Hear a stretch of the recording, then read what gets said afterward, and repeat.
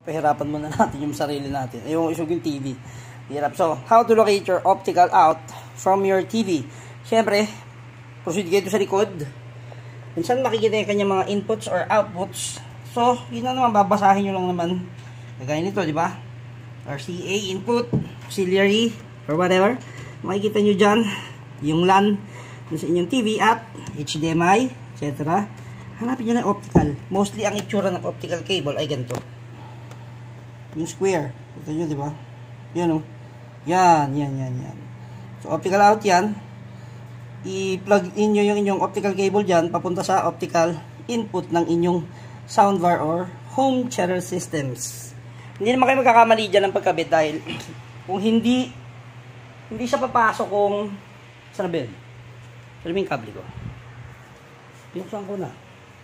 Hindi ko makita yung kable. hindi naman siya papasok pag mali dun sa ito. pag mali yung meron siyang ano eh, meron siyang railing.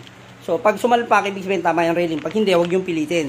Yun yung itama. So, plug nyo doon sa inyong optical out, papunta sa optical input ng inyong soundbar. So, hanapin nyo lang kung nasa ng optical input ng mga soundbars nyo.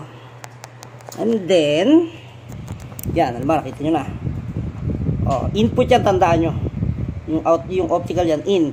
Kukuha kayo ng output. So, ganun lang naman kasimple yung yung installation palagi, kung kukuha ng audio source, audio source is output. Audio input is input. Okay? Napakasimple lang. Yan ang pang gagawin natin. Let's rock and roll.